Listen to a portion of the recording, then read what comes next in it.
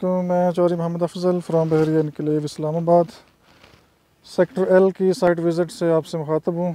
Sector L top location height location one kanal के plots सिर्फ़ एक ही स्ट्रीट है, इसमें तीन नंबर स्ट्रीट जिसे कहते हैं और ये फुल हाइट के ऊपर है, ठीक है? अभी मैं आपको इसका फ्रंट और बैक व्यू देता हूँ।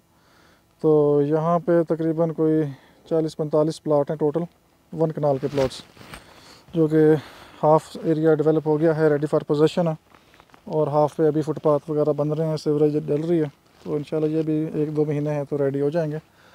ये इसका टॉप से फ्रंट व्यू है सेक्टर एम ये सामने वन कनाल ये सामने इसका सिटी सेंटर जो कि अंडर कंस्ट्रक्शन है, लेकिन अभी काम इस पर रुका हुआ है, और ये दस मरला के प्लाट्स हैं सेक्टर एम के। तो ये इसका टॉप से व्यू है और सेक्टर एम एन सारे इसके नीचे आते हैं।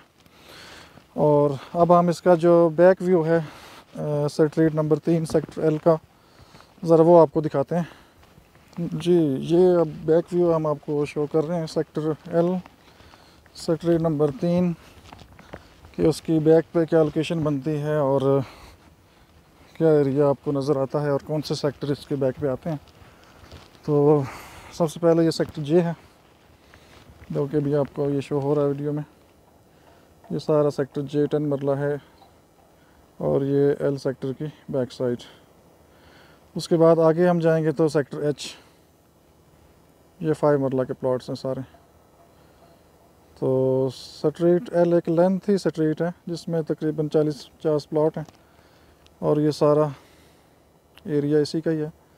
आगे ये थोड़ा सा अभी लैंड इनके पास नहीं है फ्रंट जो हाइट नज़र आती है ये लैंड भी कट जाएगी तो इसका व्यू सामने और क्लियर हो जाएगा।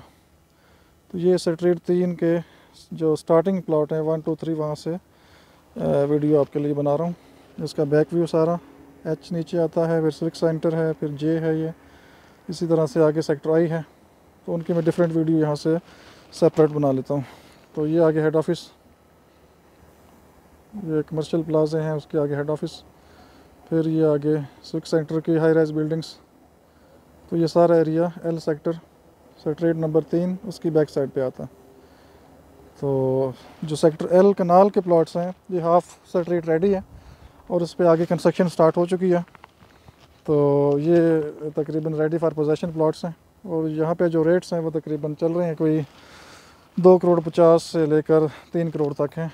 लेकिन यहाँ अवेलेबिलिटी बहुत कम आती है। प्लाट्स काफ़ी अरसे से लोगों ने होल्ड किए हुए हैं, वेटिंग में हैं पोजेशन मिले अपने घर बनाएँ। बहुत कम चीज़ें फर सेल आती हैं। तो अच्छी लोकेशन है हाइट लोकेशन है। तो आइडियल लोकेशन है for living enjoying the views बहुत क्लियर आपको ये व्यू मिलते हैं पीछे देखें।